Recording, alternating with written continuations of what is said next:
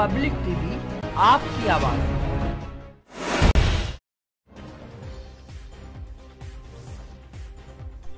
Moradabad Lok Sabha seat से कांग्रेस उम्मीदवार इमरान प्रतापगढ़ी आज पहली बार मुरादाबाद पहुँचे और एक रोड शो करते हुए शहरी वोटरों से कांग्रेस को वोट देने का आह्वान करते नज़र आए।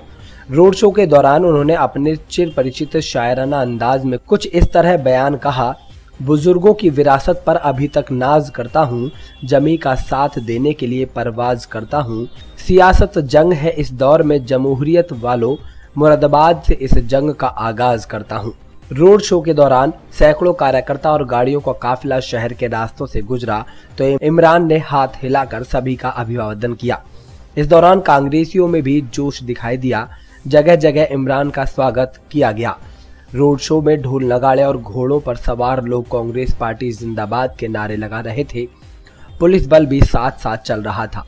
रोड शो में शामिल दो कारों का चालान भी पुलिस द्वारा किया गया, जिसे लेकर कांग्रेसियों में नाराज़गी भी दिखाई दी। इतना ही नहीं, भीड़ में मौजूद कांग्रेस की टोपी लगाए व्यक्ति से कुछ लोग उलझ गए, जिसे देख वहाँ मौजूद अन्य कांग्रेसियों ने उसे व्यक्ति को वहाँ से खदेड़ लिया। हालाँकि वजह का पता नहीं चल पाया, इमरान प्रतापगढ़ी ने रोड शो के दौरान कहा कि ये शहर एक छोटे से शायर को प्यार देकर अगर अपना बना ले तो हमेशा के लिए यहाँ बस जाऊँगा। बेटा बनकर रहूँगा, नेता बनकर नहीं रहूँगा, ये वादा करता हूँ। बुज़ुर्गों की विरासत पर अभी तक नाज करता हूँ जमी का साथ देने के लिए परवाज करता हूँ। सियासत जंग है इस दौर में जमहूरियत वालों मुरादाबाद से इस जंग का आगाज़ करता हूँ।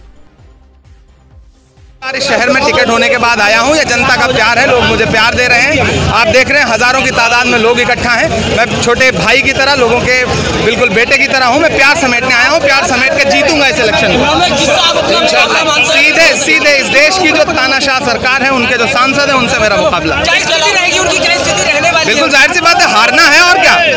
उनकी स्थिति हारने वाली है हम जीतेंगे कांग्रेस जीतेगी कांग्रेस देश जीतेगी। नहीं टिकट कोई टिकट नहीं कटा है वो फतेहपुर सीकरी लड़ना चाहते थे हमारे प्रदेश अध्यक्ष जी मैं मुरादाबाद लड़ना चाहता था बस अदला बदली हुई है।